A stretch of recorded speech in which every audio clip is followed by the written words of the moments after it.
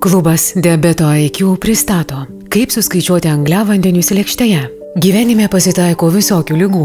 Susilpnėja akis, sutrinka klausa, susidėvi sanariai, sugenda dantys, nuo susirgus cukriniu diabetu užsiožiuoja kasa, kurie atsisako gaminti gyvybei svarbu insuliną. Trumparegius gelbsti akiniai, Negirdintiems padeda klausos aparatai, nepainantiems reikalingi ramentai, netekusiems dantų protezai, na, o susirgusiems cukriniu diabetu Būtina visą gyvenimą leistis insuliną. Sveikų žmonių kasa yra gudri.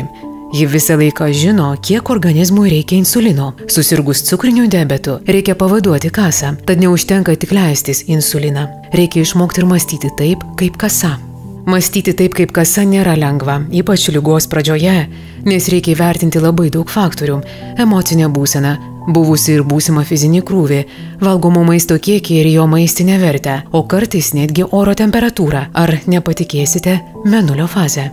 Kaip kam tai atrodo kaip raketų mokslas, kitiems panašu į šachmatų partiją, tretiems primena aukštąją matematiką. Pagrindinis dalykas yra nustatyti insulino ir suvalgomo maisto santykį, o tam pirmiausia reikia išmokti apskaičiuoti angliavandenių kiekį maiste. Tam reikalingos virtuvinės svarstyklės ir skaičiavimo mašinėlė.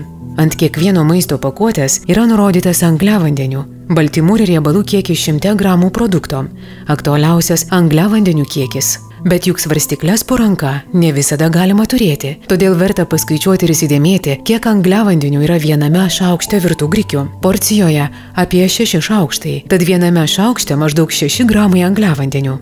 Viskas gana paprasta, kai yra tik vienas produktas. O kaip suskaičiuoti angliavandenių kiekį, pavyzdžiui, blynuose? Viename kiaušinyje yra maždaug 1 gramas angliavandenių. Taigi, jei imsite 3, turėsime 3 gramus angliavandenių. Šaukštas cukraus 25 gramai. Dviejose šimtuose gramų miltų yra 152 gramai angliavandenių. Pusėje stiklinės pieno bus 8 gramai angliavandenių. Taigi iš viso turime 188 gramus angliavandenių. Jei iš tokio kiekio iškepsime 20 25 blinus, tai 188 padalinsime iš 25 ir gausime, kad viename bline bus apie 7,5 gramo angliavandenių.